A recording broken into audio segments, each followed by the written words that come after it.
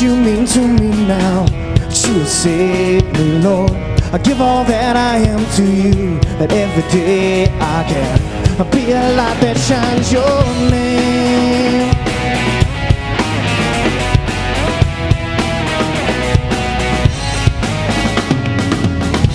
Every day, Lord, I'll learn to stand upon your word, and I pray that I that I might come to know you more. You guide me in every single step I take. That every day I can be a light unto the world. Every day, it's you I live for.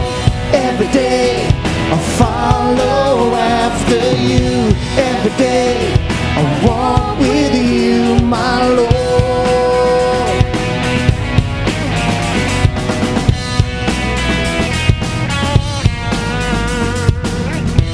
Every day, Lord, I'll, I'll learn to stand up on your word, and I pray that I that I might come to know you more. That you would guide me in every single step I take. That every day I can be a light. Come on, sing it. Every day, it's you I live for. Every day, I follow after you. Every day, I walk with you, my Lord. Come on, one more time. Every day, it's you I live for. Every day, I follow after you. Every day, I walk with you, my Lord. It's you I live for day. Come on, sing it. You I live for every day. It's you I live for every day.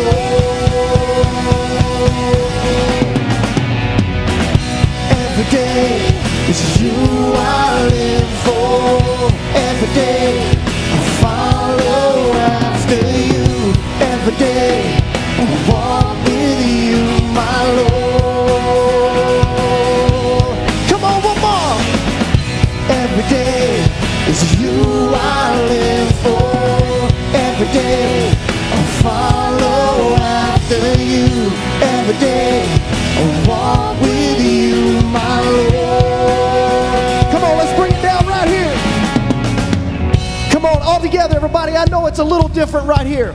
I know this song's so repetitive, but during this time, we're all going through all these turmoils and all this weird stuff we're having to deal with, and this world is split in half. And you never know what anybody's gonna say and who's gonna get so mad at anything you have to say.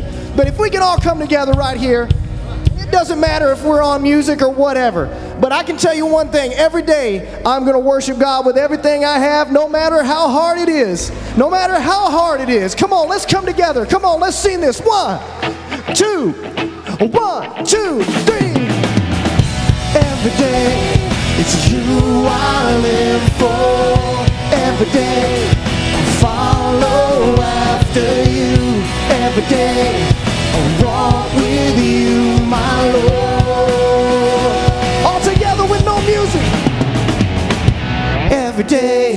It's you I live for. Every day I'll follow after you. Every day I'll walk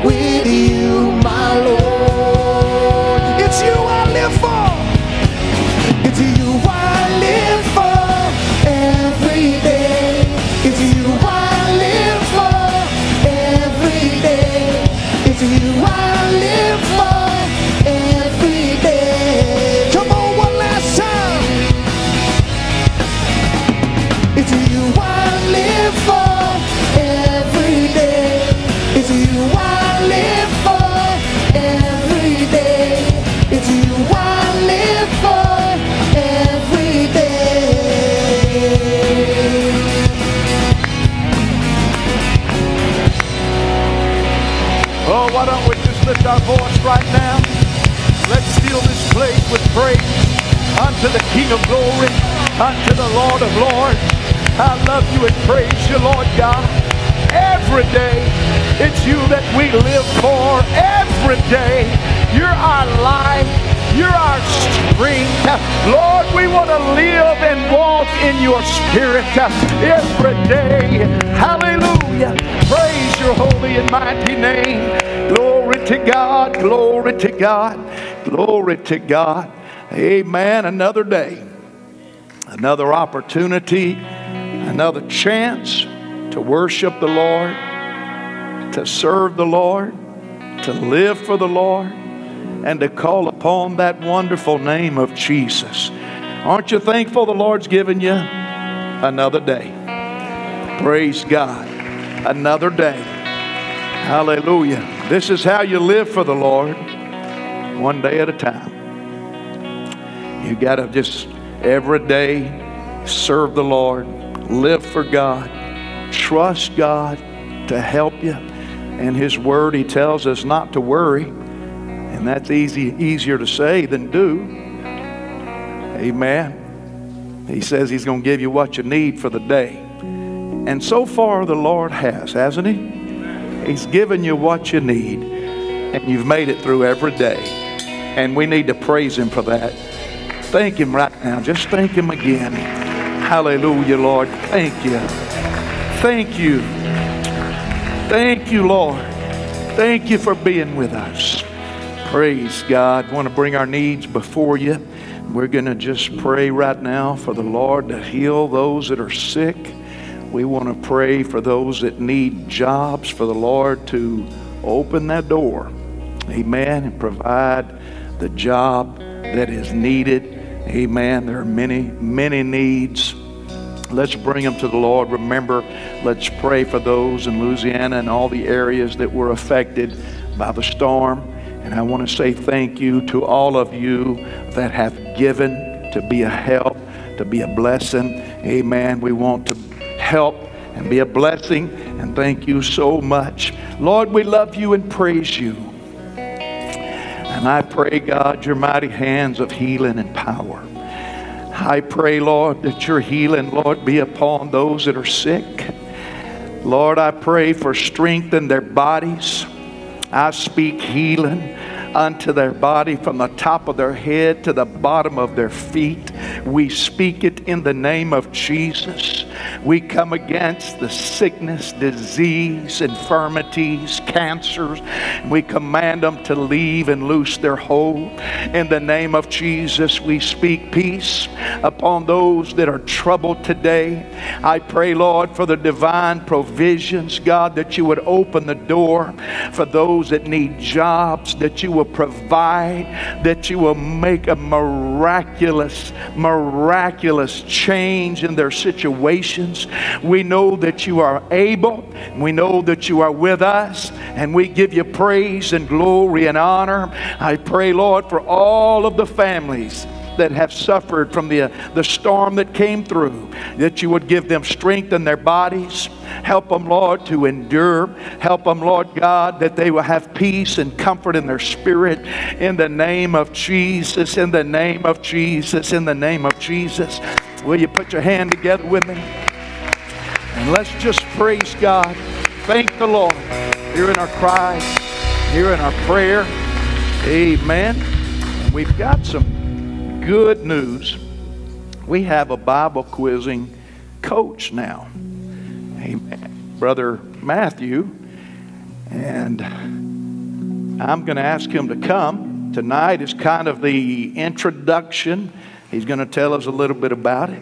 And, and I, I, I hope we get some families excited about this. If you've ever had your kids in anything, in this hour that we're living in right now, the soon coming of the Lord, the best thing you can do is want them to get excited about the Word of God. The best thing you can do for your children is get them excited about putting the Word of God into their heart. Amen. Come on, Brother Matthew. God bless you. And thank you, Pastor, for having the opportunity to be able to attempt to start a quizzing program. Who in here has heard of Bible quizzing before? I see a couple of hands here. Well, for those who don't know, Bible quizzing is a wonderful ministry where kids learn the Word of God and they study the Word of God. And they take their knowledge and they go to tournaments and they quiz with teams on their knowledge. But one of the great things about quizzing is that it teaches kids so many life skills that they just need. Skills like patience, humility, teamwork, diligence, listening to what they're told. It teaches a lot of really valuable things that kids just need to know. But those kind of lessons can also be learned if they're playing sports, you know, if you're doing baseball or soccer or football or whatever. But where quizzing is different, kids learn the Word of God. And for instance, the Bible says that bodily exercise profiteth little but godliness is profitable unto all things, having the promise of that which now is and of that which is to come. And see, a Bible quizzer would know that. I was a Bible quizzer, I learned that verse. You know, there's a lot of other versions, a lot of other things in the Bible that quizzers learn that help them. For instance, you have kids in school, uh, Pentecostal girl, you know, her classmates are picking on her. Hey, why do you have long hair? I don't know, my pastor told me. That's not, you need to learn the Word of God because if you've learned the word of God, you know that in 1 Corinthians chapter 11 it says that if a woman have long hair, it is a glory to her, for her hair is given her for a covering. All right, let's take another situation. You're on the job and you're dealing with a lot of coworkers, and they're using a lot of slang and a lot of curse words and whatnot, and you know it's like, hey, I don't do that. Well, why don't you do that? The Bible doesn't say not to curse, right? But if you learn the word of God, Ephesians 4:29 says, "Let no corrupt communication proceed out of your mouth, but that which is good to the use of edifying, that it may minister grace unto the hearers." That's something that a Bible quizzer has the opportunity to learn and memorize to their heart. Also, whenever you're dealing with, well, is this a sin or is it not a sin? I don't know. Well, a Bible quizzer would have learned James 4:17 that says, "Therefore to him that knoweth to do good and doeth it not, to him it is sin."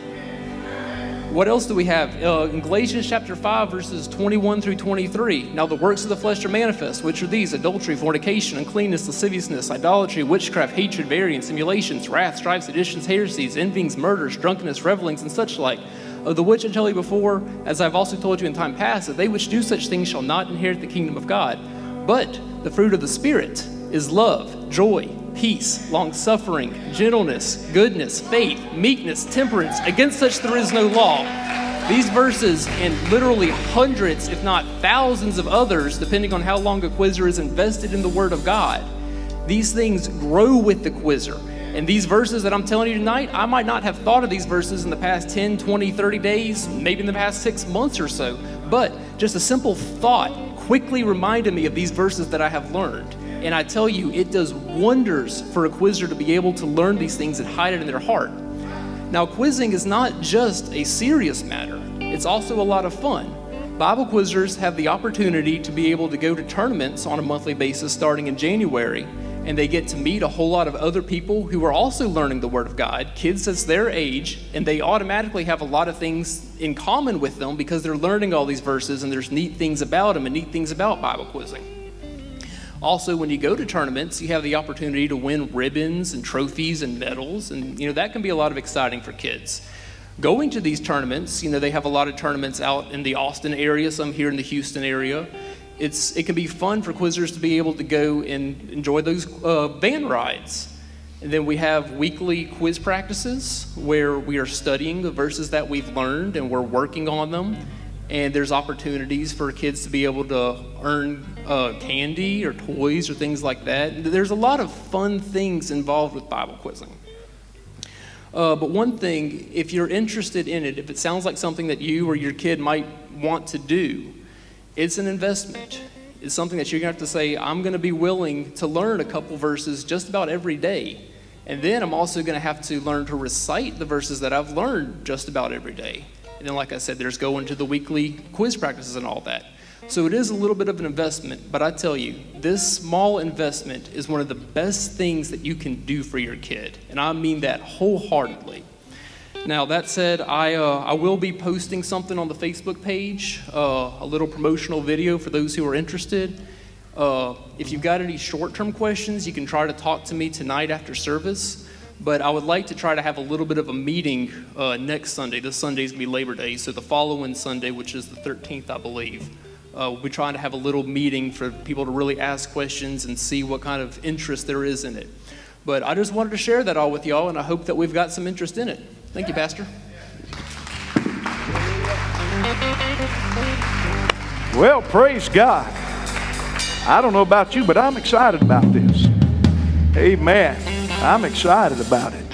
I, I, I think that it'd be great to get the parents in it. Hallelujah. Amen. Amen. But I, I, I'm excited because the Lord sent to our church a replacement. Sister Jennifer, was it Garza? Sister Jennifer Garza.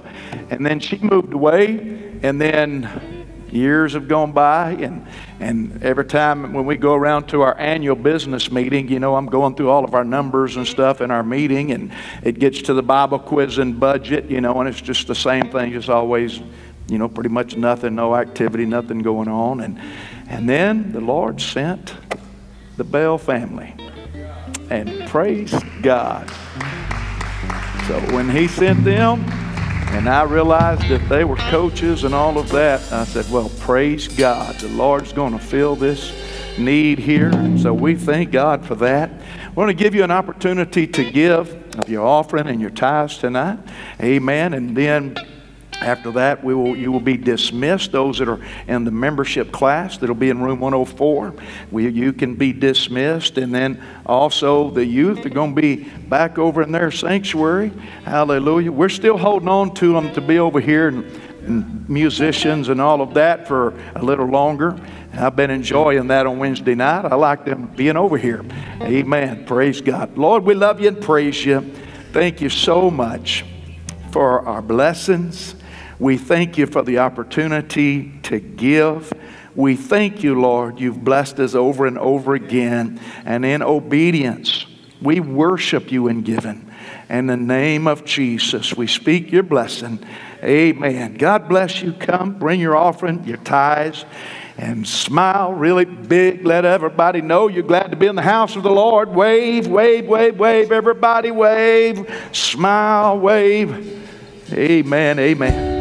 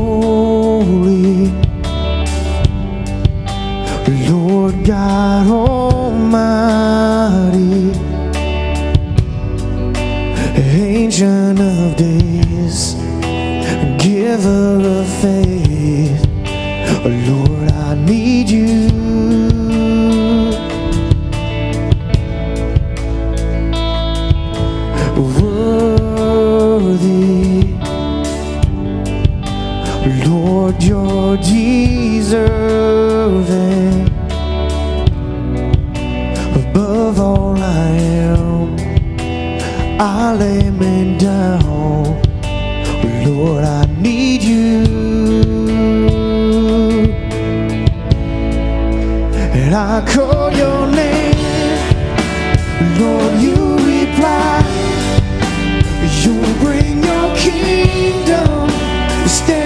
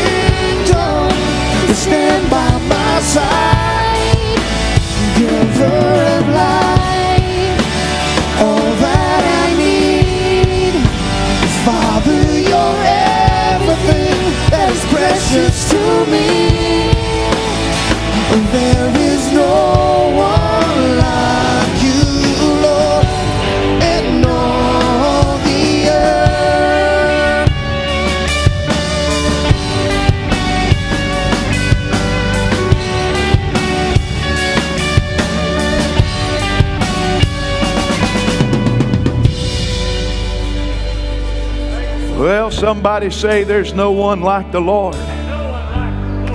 No one like the Lord in all the earth. He said, Who are you going to compare me to? Amen. Cannot compare the Lord to anyone. Praise God. We serve the King of Kings. And I'm glad I know who He is.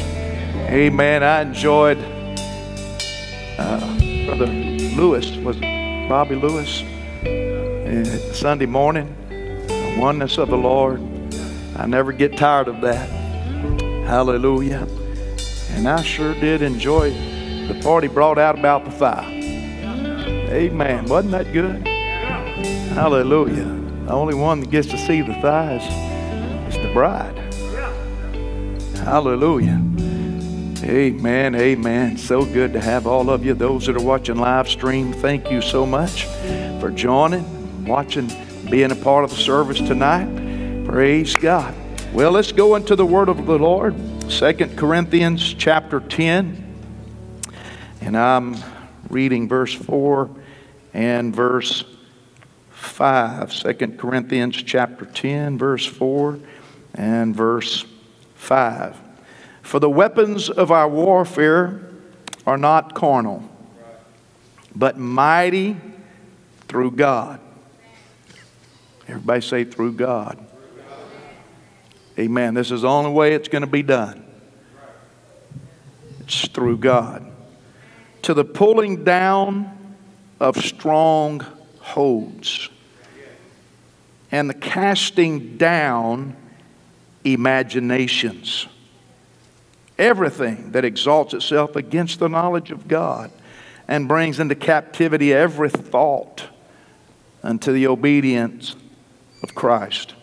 And I want to talk to you on the subject images in the mind.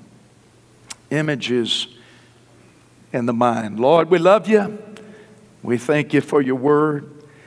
And Lord, get us ready. We know you're coming. We know you're coming soon. Get us ready. Every one of us. In Jesus' name we pray. Everybody say amen.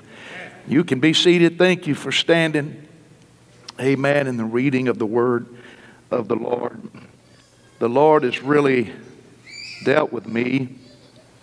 I'm having some struggling in my ear headphones that I'm wearing. I'm, I'm getting about every other word, and it's kind of bugging me. It's no coincidence that the cross that Jesus was crucified on was placed at a place called Golgotha. It's not just something that just happened to be, and it happened to be the place, you know, where crucifixion happened to be. There was a reason behind that. There was a purpose in everything that it represented and everything that it meant. Because Golgotha means the place of the skull. The place of the skull.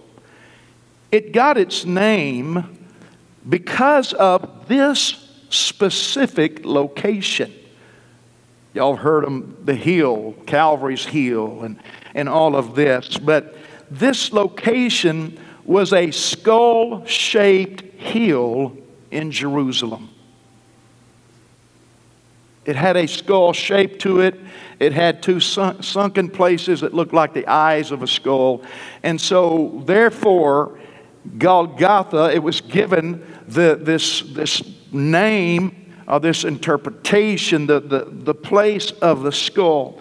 Mark 15 and 22, and they bring in him, speaking of Jesus, unto the place, Golgotha, which is being interpreted the place of a skull. Why did Jesus choose the place of the skull as that destination of where his blood was going to be shed?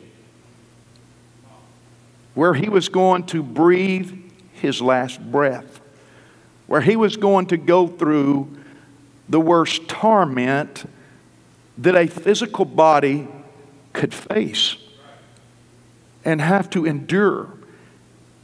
This place, known as the place of the skull, it's because our greatest battle is in the skull.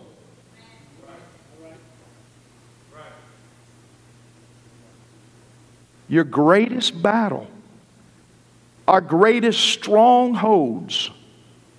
When you read about the strongholds, the greatest strongholds, the places that can become satanic activity and ruled and controlled by the forces of darkness, are in the skull.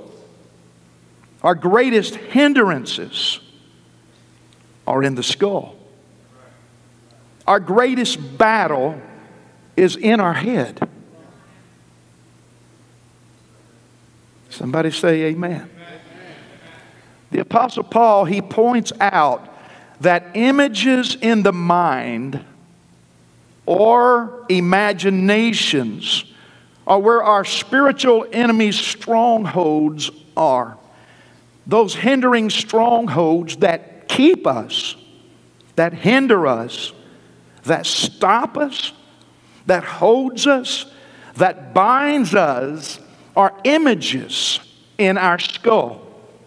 Imaginations comes from a phrase, imagine a nation. It is the formation of a mental image and it becomes a kingdom. Imagine a nation. Something that becomes a kingdom and gives birth to rulers. And I, I, don't want to detour here, but I can't help but think of the scripture where it says to gird up the loins of your mind. Loins. Why loins? Because that's the birth, gives birth to rulers. It gives birth to rulers of nations, and it's all inside the head, it's inside our mind. These kingdoms, they are made up of things that we think on, things that we dwell on, things that we meditate on, things that we read, things that we watch. things that we listen to. It gives birth. Our meditation begins working with it.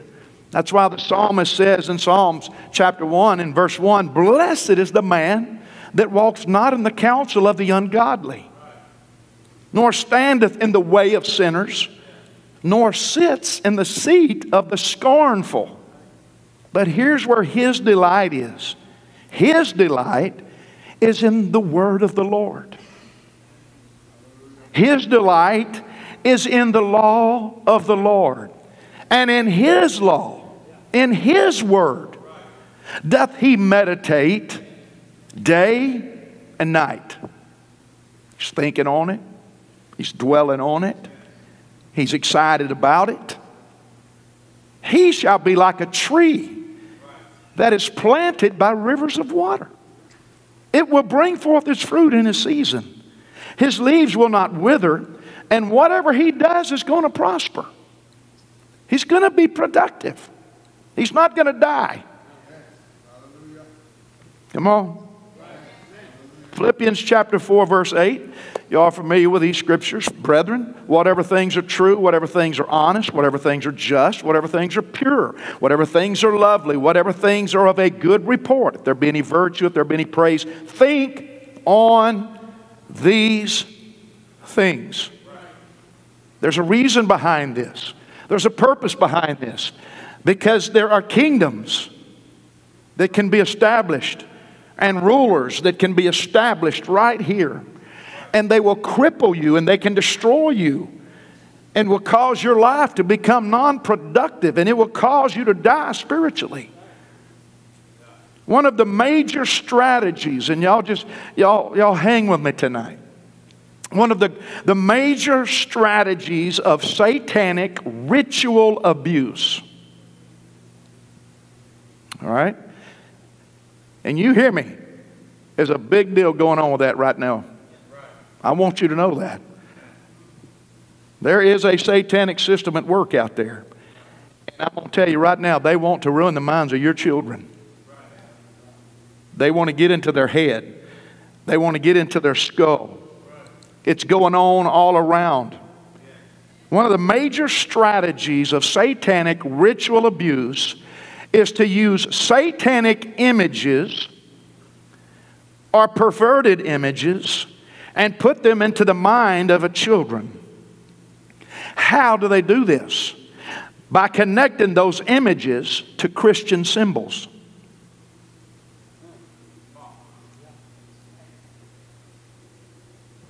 So anytime they see a Christian symbol, they get a perverted image connected to it.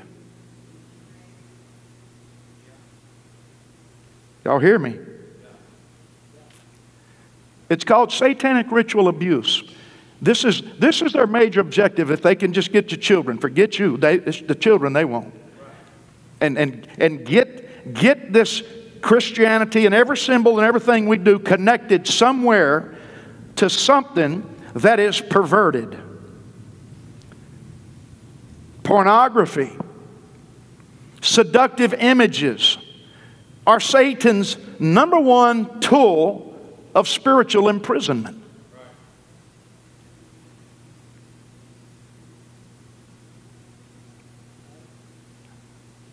Hello. Number one tool.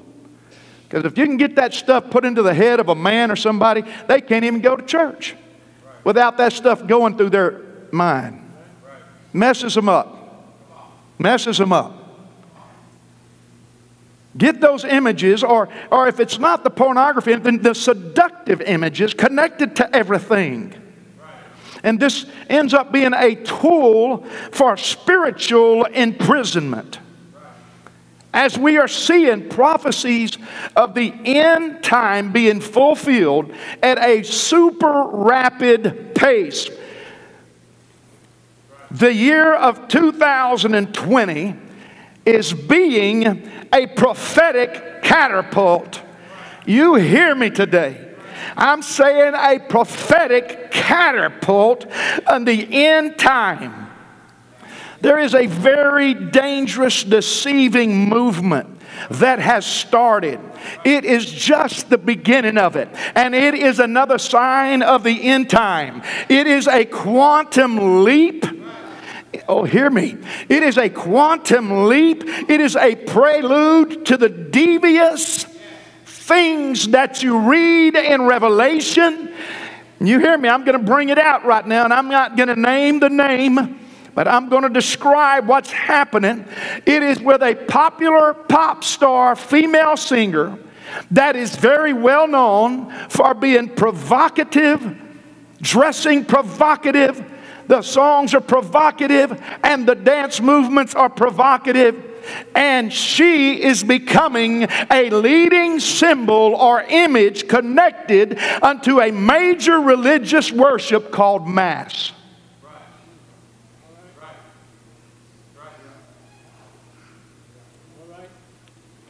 I'm not going to bring it. Afterwards, y'all want to talk, I'll be glad to.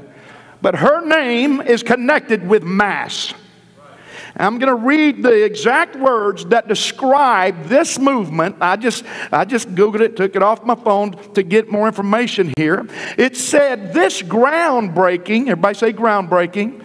Y'all have had groundbreaking. We've had it right here on this property, groundbreaking. This groundbreaking spiritual experience has gathered thousands of people at worship services from Southern California to Portugal. Mass. Led by a very popular person known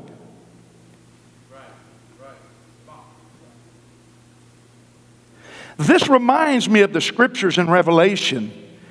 Revelation 17 and 3. So he carried me away in the spirit into the wilderness. And I saw a woman sitting upon a scarlet colored beast full of names of blasphemy, having seven heads and ten horns. And the woman was arrayed in purple and scarlet color, and decked with gold and precious stones and pearls, having a golden cup in her hand full of the abominations and the filthiness of her fornication. And upon her forehead was a name written Mystery Babylon the Great, the mother of harlots and abominations of the earth. And I saw that woman drunken with the blood of the saints and with the blood of the martyrs of Jesus. And when I saw her, I was wondering in this great amazement. Can I tell you who's under attack right now? You are. I am what we stand for, what we represent, this holiness, this purity, the living for God. All of this is under attack right now in a way you do not understand. The greatness of it, the great measures uh, of what's going on right now, this very moment, and the popularity of building up something uh, that is provocative, that is seductive, uh, that represents pornography and everything else being the lead uh, connected with uh, Christian symbols. I'm telling you, you are seeing what's been going on behind the scenes coming now to a major scale. Satanic ritual abuse. Get into the minds of the people and connect every spiritual symbol to something that is seductive, unto something so they can't think about it without it connecting to this.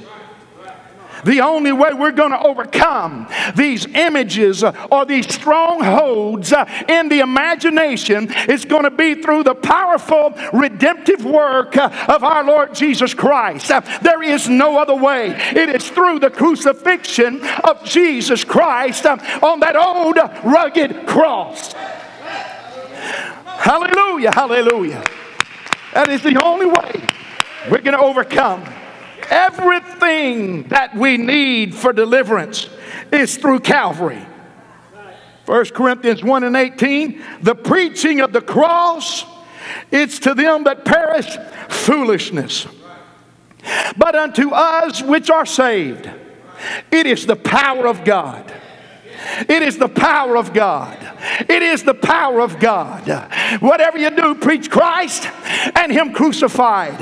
Everything you need for deliverance uh, is in the cross. Uh, everything you need for deliverance uh, is in the blood of Jesus Christ. Everything you need for deliverance is sitting there at the place of the skull. Everything that you need for deliverance is on Calvary's hill. The preaching of the cross, it is foolishness to those people that are perishing, but unto us uh, that we are the ones that are saved, uh, it is the power of God. It is what's going to help us. Uh, it is what's going to save us. Come on. Hallelujah. You've ever clinged to hold of that old rugged cross, friend, you better do it now with everything you've got, with everything that is within you. Hallelujah. Because you are standing in an end time hour. And I'm telling you, Satan has given it everything he's got. Now is his hour. It's the prelude to everything building up. And I've been saying it to the coming, the kingdom of the Antichrist. Uh, everything that's happening, everything that is going on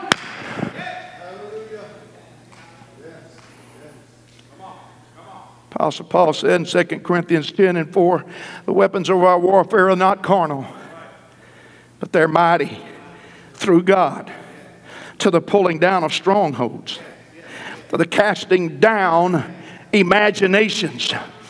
Hallelujah. It's done through God. It's done through God. It's done through the Lord. It's done through the works at Calvary.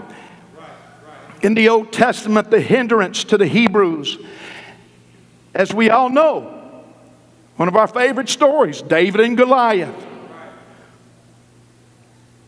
Greatest hindrance to the Hebrews was these large men who were eight feet tall, and some of them was as tall as 13 feet tall.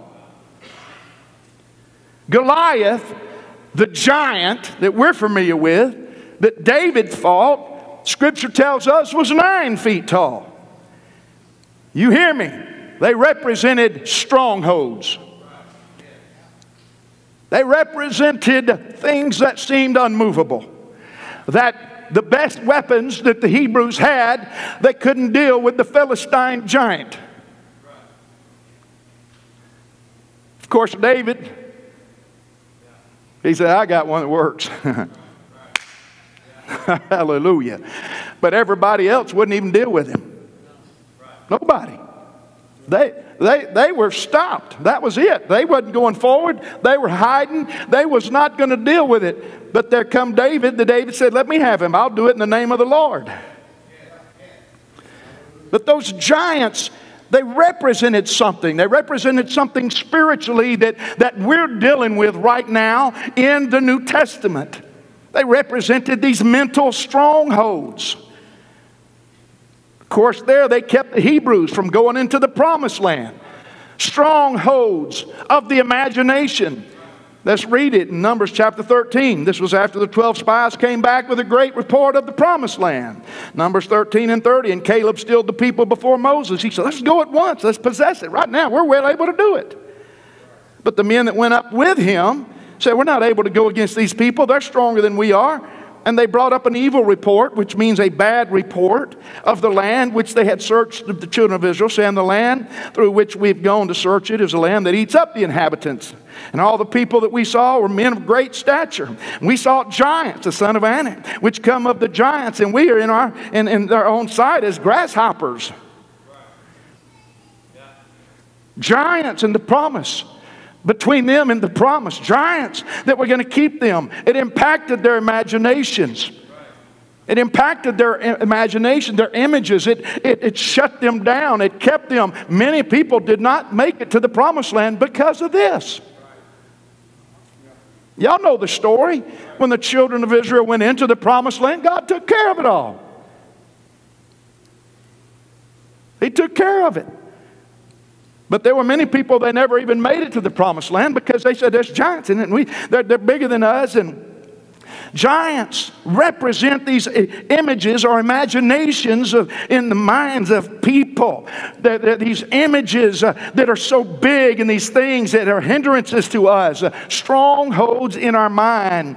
They're giants. And listen to me. You know how they turn into giants? You feed them. You feed them. That's why kids don't understand why we tell them, you know, you can't spend all your time watching all this. And always listening to this and a little bit of time with God. Because whatever you feed gets bigger and bigger and bigger. And so they feed these things, either by things that you see or things that you meditate on. It's feeding. Strongholds are being formed and, and being nurtured and being raised up. Nurturing now, y'all hang with me because there's a whole purpose of where I'm heading and why I've laid this foundation.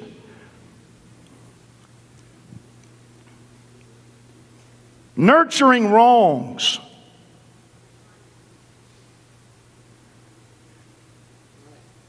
Come on, I'm, I'm coming against the strategies of Satan.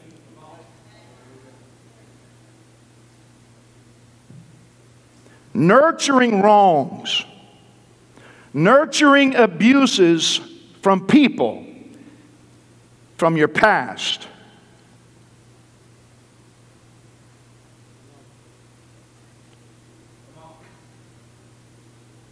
Causes giants to get into you. And these images become stumbling blocks are giants between you and your salvation, your promised land. Your blessings of the Lord. Look what was said to the children of Israel about those seven tribal nations that dwelt in the promised land for hundreds of years prior to Israel's exodus from Egypt. Numbers 33 and 55. If you do not drive out these inhabitants of the land from before you, then it's going to come to pass that those which you let remain, they're going to become pricks in your eyes. They're going to become thorns in your sides. And they're going to vex you in the land you dwell in. If you don't drive them things out, if you don't get those things out, it's going to affect you. It's going to vex you. It's going to mess your vision up. It's going to cripple you. It's going to cause you to not be able to function. It's going to be thorns inside of you. Notice what he said those that you let remain. In other words, it's a choice.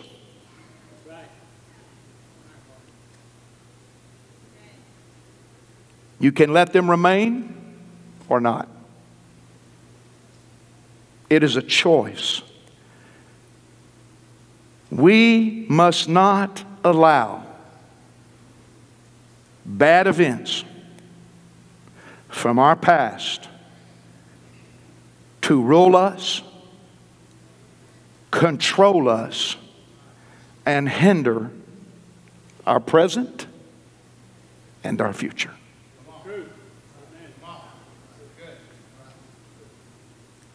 I'm preaching to the saints of God. I'm preaching to people. You've gone to church for years and years and years and years and years. We cannot let Satan's strategy work. No, we're not going to let the satanic ritual abuse part do its thing. But if we're not careful, this deception is going to work. You cannot let it control you. You cannot let it rob you of your present life and from your future. Now, listen to what I'm going to say. God doesn't transform us by the elimination of our problems. It'd be nice if he did. Really would. I mean, you, you know, everybody knows what I'm talking about. Sometimes you'd like to see a lightning bolt come down. Pow! Removed. Done. You are grinning because you, you know it really. Those people that really, you know, really messed with you, really, really messed up your life, really affected you. You'd like to see that. Pow! All the ground open up.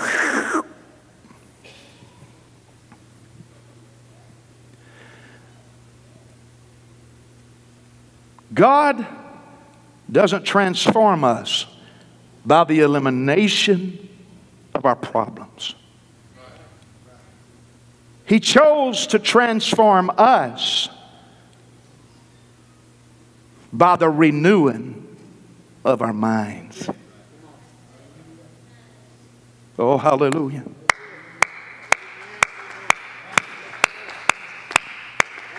I said, Oh, hallelujah.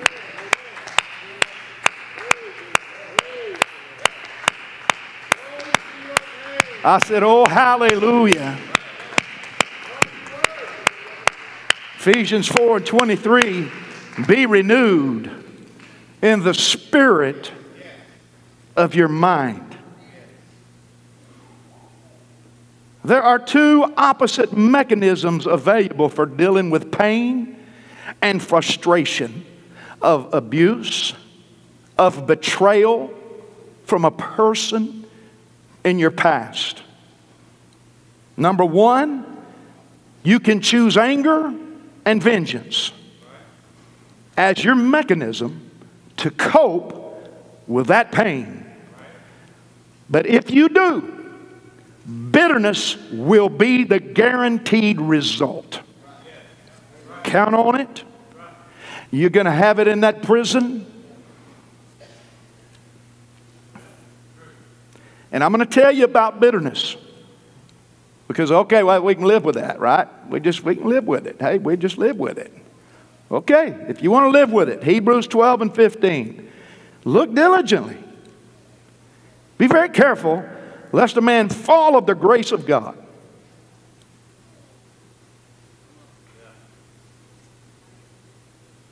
That's the root of bitterness springs up in troubles, and thereby many are defiled.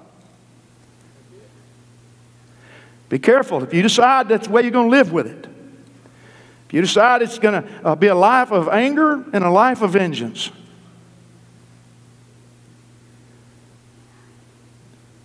then the guaranteed result is bitterness. And if you have this bitterness, be real careful because you fail or fall from the grace of God. If bitterness is the guaranteed result, and you are ensnared by those images in your mind of what they've done to you, and you keep nourishing them, and you keep feeding them, and you keep meditating on them, and you keep. It will cause you to fall from the grace of God. So the Lord made a way. You can choose option two. You can choose the way of the cross. Choose the way of power. Choose the way of God. Choose the way that really works against the powers of darkness and the strongholds out of the pits of hell. Choose the way of the cross and forgiveness. If forgiveness is the way you choose, if forgiveness is what you're going to add to the pain, then healing is a guaranteed result. It's a guaranteed result. You're going to be healed. You're going to be healed. You are going to be healed. That's the guaranteed result of the way of the cross, of the way of forgiveness. You are going to be healed. Healing comes by the cross, healing comes by the way of the cross, healing comes by actively choosing to give up your desire to seek revenge or to impose and carry out a sentence against the guilty. It requires giving up the right to impose justice. That means you've got to get off of the judgment stool.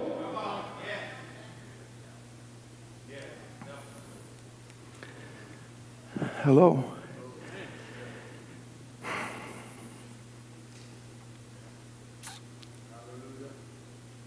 Forgiveness. It involves canceling a debt. Matthew 18 and 32, Jesus said, Then his Lord, after that he had called him, said unto him, O thou wicked servant, I forgave you of all of your debt because you have desired me to do. Shouldest not thou also have compassion on your fellow servant, even as I have had pity on you?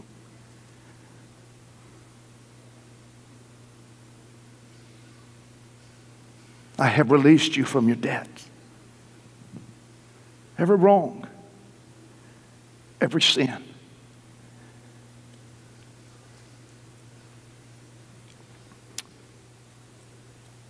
There was a man by the name of Floyd He was shot in the head during an attempted robbery of his drugstore. He survived, and although a bullet destroyed his sight in one of his eyes, and it remained lodged in his brain, messed him up. Messed him up for life. The man that did it was later arrested, convicted, sentenced to the state prison. This guy that was affected, he could have focused on how this incident had cost him half of his sight and considerable pain for the rest of his life and the financial losses that crippled him through the years of his life. But instead, he chose to correspond with that man in prison, express his desire to see him get his life turned around.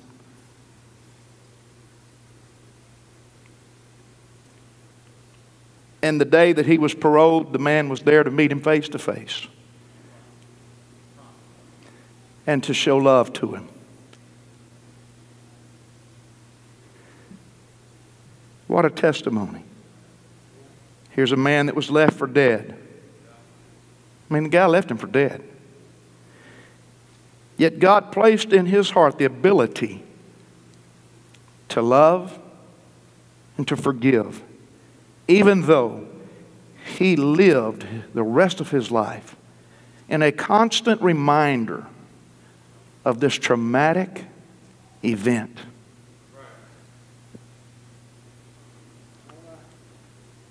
Forgiveness is an act of will, not a result of feelings. It's something you choose. It's, it's a journey you choose to travel. It's a path you choose to go. I'm going to go by the way of Calvary. I'm going to go by the way of the cross. Forgiveness is a choice. Vengeance says somebody's got to pay. Right? I wish, you know, I could get some of y'all up here just to act out your anger sometime. You, you know. Somebody's got to pay. Somebody's got to pay. That's what vengeance is. Somebody's got to pay. Forgiveness says the price has been paid. Oh, y'all not getting it? Come on. Come on, I'm a human being like every single person in this room. I have suffered hurts and pains and wounds and scars, and I'm telling you, all of my life, living for God, serving God, pastoring, you name it, the stuff, the things. But I choose Calvary. I choose the cross. I choose the way of the Lord. I choose to travel to that old rugged cross on Calvary's Hill, that place where healing's got to be inside the skull. Hallelujah. I'm, preaching somebody today. Come on. The major ingredient of being able to forgive is you've got to be able to satisfy the main requirement, and that somebody's got to pay. Somebody's got to pay. Somebody's got to pay. Somebody, I've got to have, I've got to have, I've got to have flesh out of this. Somebody's got to pay. The human tendency, the human tendency wants assurance that there is a sacrifice. Somebody's going to pay. Somebody's going to pay, and it's going to be committed. Come on. Hallelujah, hallelujah. Listen to me. Somebody did pay. My God. I said, somebody did pay. That's why Jesus Christ went to that place called Golgotha and laid down his life on the cross. He paid the price so you can be free. He paid the price so I can be free. He paid the price so every human being could be free from every stronghold that Satan begins building in the minds of people. In the place of need of payment, you need to let the death of Jesus Christ be enough. I said, You do not put yourself above God. You let that be enough. Do not put yourself above God. Let that be enough. The price that was paid, the blood that was shed was enough. It was enough. It was enough for God. It was enough. Oh my God. Come on, somebody. Help me out for a minute. We got to help somebody. We got to help somebody out of the prison. We got to help somebody be healed. We got to help somebody by the way of the cross. It's enough. Through the mighty works of God, we can pull down the strongholds. Through the mighty works of God, we can pull them down. Hallelujah. Put the cross in the skull and cast down those images in the mind, cast down those imaginations. Hallelujah. If you are having difficulty resolving anger about past hurts, dump that load of anger and that revenge on the thorn scarred head of Jesus Christ. He said, Cast it all on me. Cast it all on me. Come on. If, if you can do anything right now, the best thing you can do is you start using your imagination and you start traveling to the cross and you start taking that junk and casting that upon those nail scarred, come on, upon that thorn scarred head, vent your pent up wrath in the direction of that wooden instrument of death that was planted on Golgotha over 2,000 years ago. Isaiah 53 and 5, but he was wounded for our transgressions.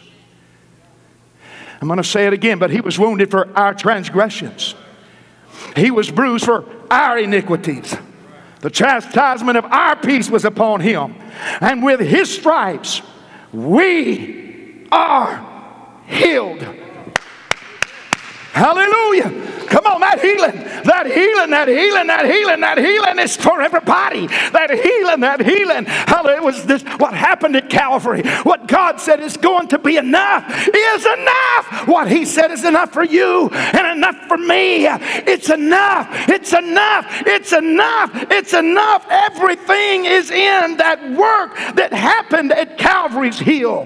The substitutionary atonement of Jesus Christ is enough through the blood of Jesus Christ, you can break the strongholds. Uh, through the blood, uh, you can break through the bondage of bitterness. Come on. Hallelujah, hallelujah. Come on. This is a spiritual moment right here like you've never had before. I'm telling you right now, I'm asking you, I'm begging you. Hallelujah. You got to be ready. The Lord's coming. You got to be ready. The Lord's coming. You got to be ready. The Lord's coming. Saints of God, yeah, you said I've been in church for 50 years, uh, but I'm telling you, there are strongholds uh, that are keeping you bound. Uh, you're a prisoner, and those are ruling you, and they're keeping you from the promises of God. It'll cause you to fall from the grace of the Almighty God. You've got to break through. You've got to break through. You've got to break through. That bondage of bitterness has got to finally leave your life. It's got to leave your skull. It's got to leave your spirit. Hallelujah.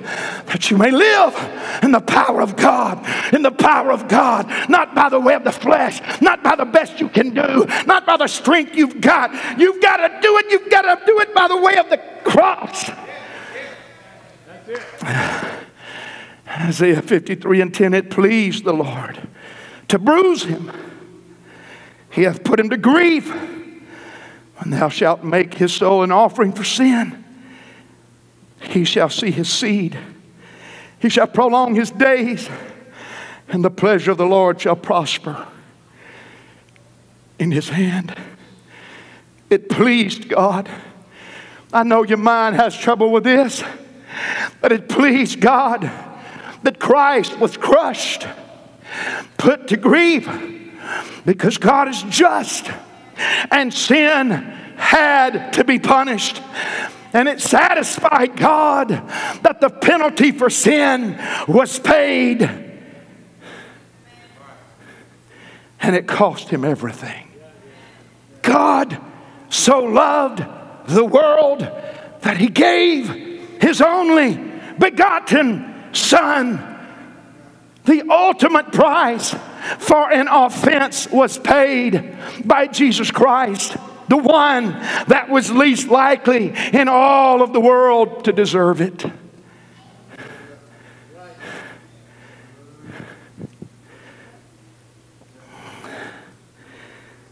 Hallelujah. Hallelujah.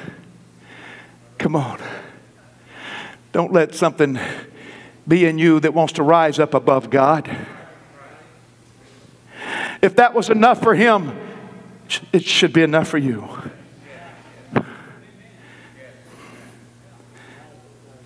If that was enough for him, it should be enough for you.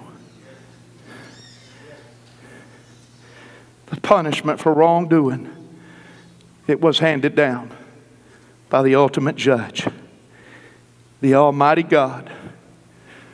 Supreme judgment on sin and the world had found satisfaction in the fact that Christ's blood had been spilled. We have a musician, just as God found pleasure in the substitutionary death of Jesus Christ, through the power God gives you so can you.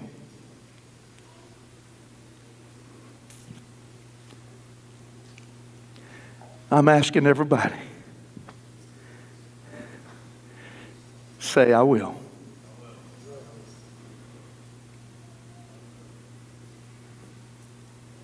Say, I will.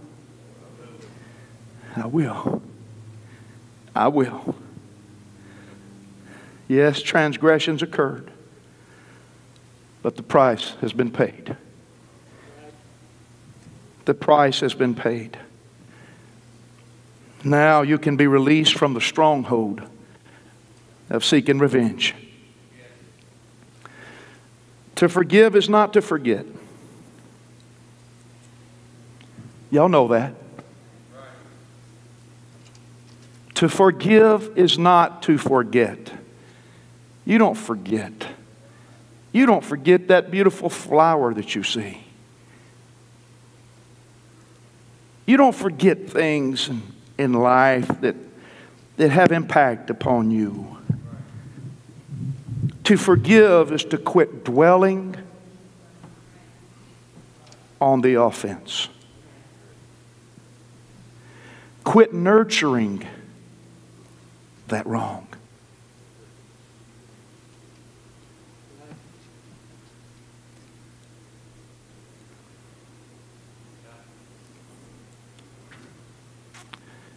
To hang on to a memory without forgiveness is to nurture resentment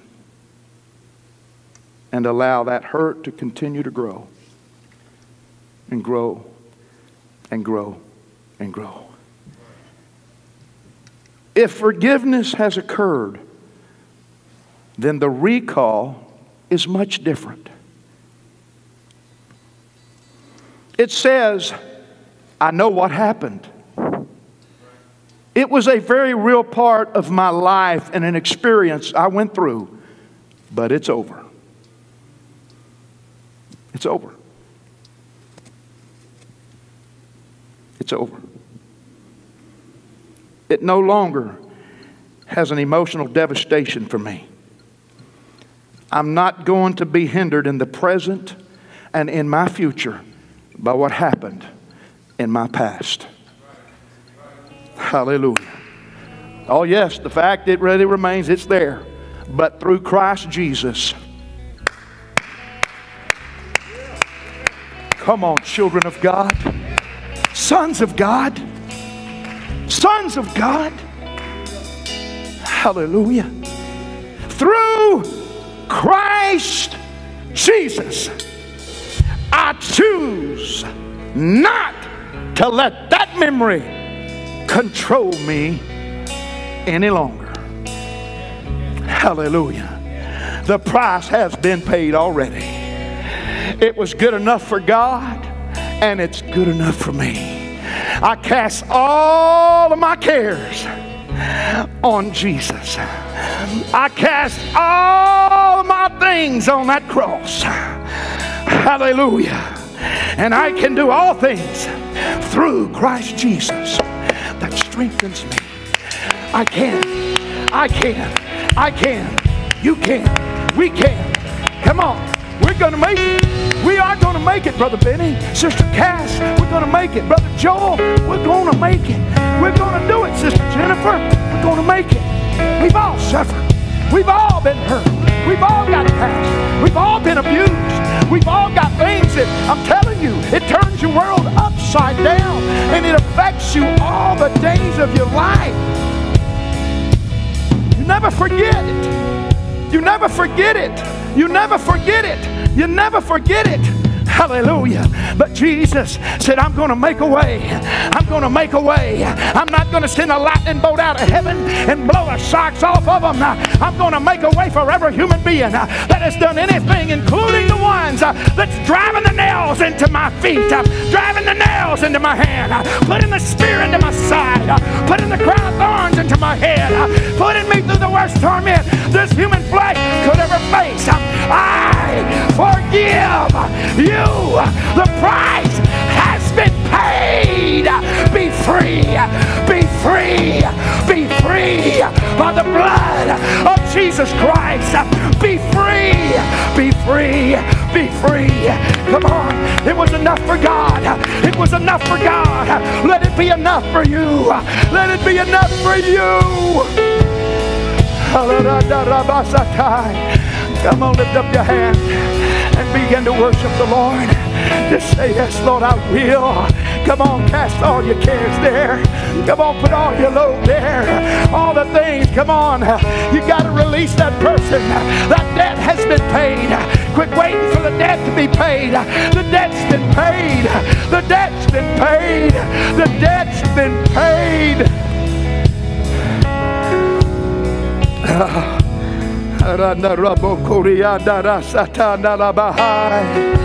Hallelujah. Come on, everybody, help me. Everybody, help me. Pray, pray. There's got to be a miracle deliverance. It's not by the way of carnality. It's not by the carnal means of warfare.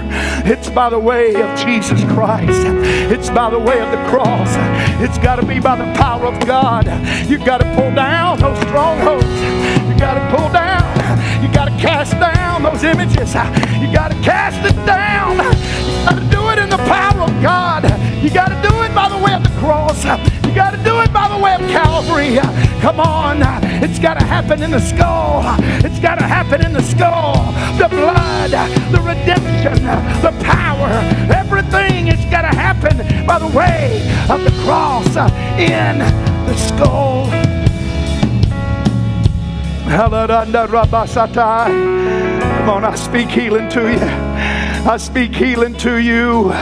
By his stripes you are healed. By his stripes you are healed. In the name of Jesus. In the name of Jesus. In the name of Jesus. Come on. You don't have to fall from the grace of God. Come on.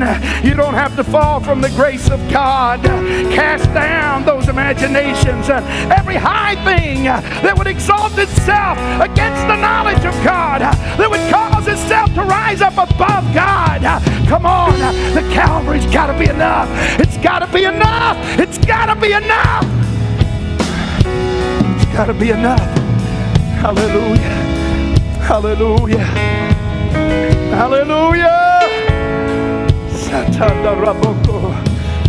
Whatever y'all have.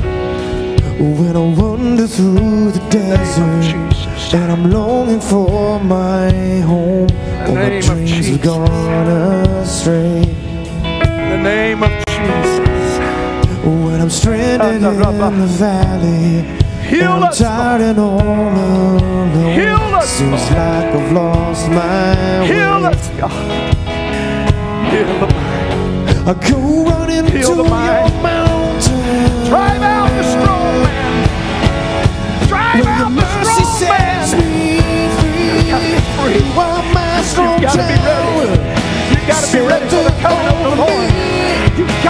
got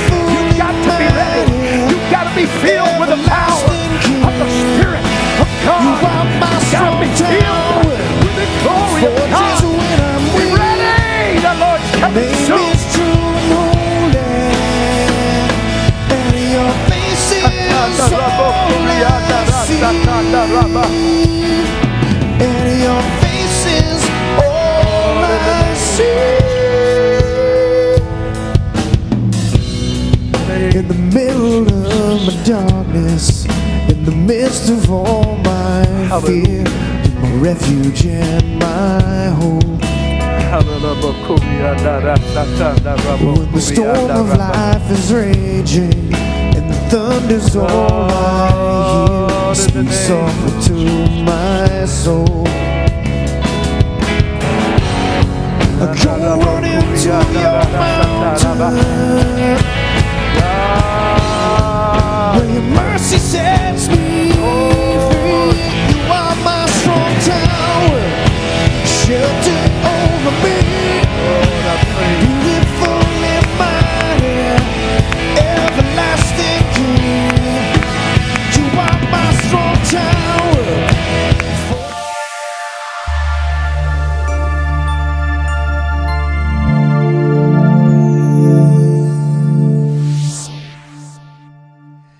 Hi, this is Pastor Kevin Martin, and I just want to thank y'all for joining us today, tuning in and being a part of our service.